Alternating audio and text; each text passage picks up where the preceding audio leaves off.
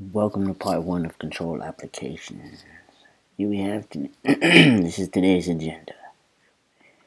Alright, so control applications. So in the beginning of the HVAC industry, the only man there was only manual control of uh, components in the unit, and coal furnaces required a person, which was called a stoker, to actually put the coal in at the correct time to heat a structure. That's it. I'll see you in part two.